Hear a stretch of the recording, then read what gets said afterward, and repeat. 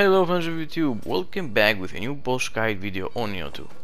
In this video I will show you how to beat Shibata Katsuie.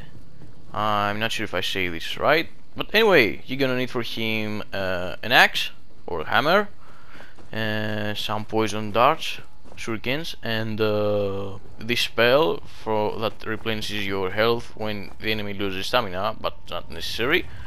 Anyway, I think this is one of the easiest boss in the game, so follow my instructions. You See how much stamina he loses.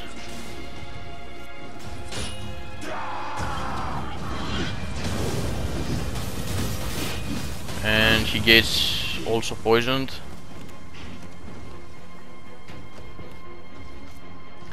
Be sure to have the yokai ability Hage have something like that. Anyway, I will show you which one I mean.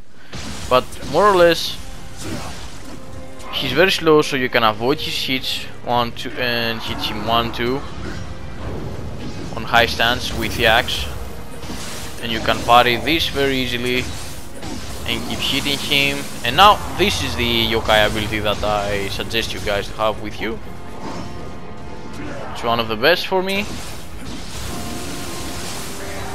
Look how much damage he does to his uh, stamina. And now he's down. Simple as that.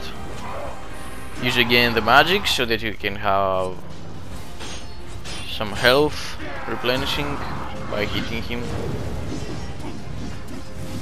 So this is a chance when you can parry him, but I missed it. Anyway,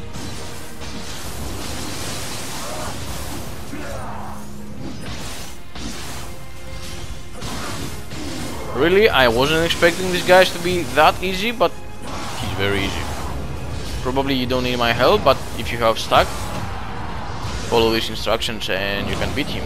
And of course, at the right moment, use your yokai spirit form and kick his ass.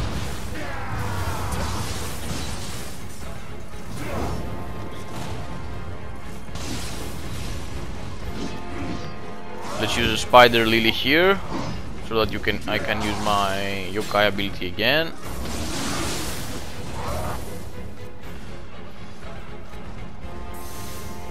Spider Lily again.